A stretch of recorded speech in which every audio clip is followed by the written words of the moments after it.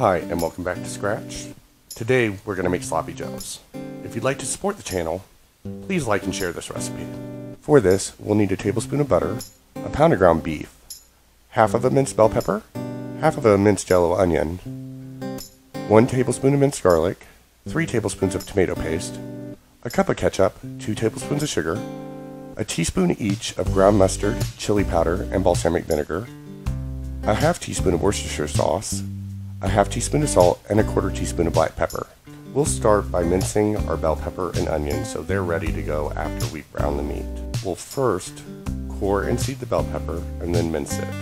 Then we'll slice the onion in half to make it easier to peel and mince half of our onion. Next, we'll set our stovetop to medium-high heat and brown our hamburger meat, crumbling it as it cooks. This should take about 8 to 10 minutes. After browning the ground beef, we'll drain it in a colander to remove some of the grease. While the ground beef drains, we'll melt 1 tablespoon of butter in the same pot that we cooked the ground beef in. To this, we'll add our tablespoon of garlic and our minced bell pepper and onion. We'll saute these, stirring occasionally, until the pepper and onion become soft. That should take about 3 to 5 minutes. After our bell pepper and onion have softened, we'll stir in our cup of ketchup and our 3 tablespoons of tomato paste.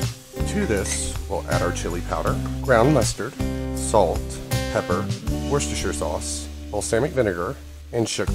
Then stir to combine thoroughly. Finally, we'll return our ground beef to our sauce and mix well. Once mixed, we'll remove our sloppy joes from the heat and serve on some lightly toasted slider buns. And remember, if you like the content, please subscribe.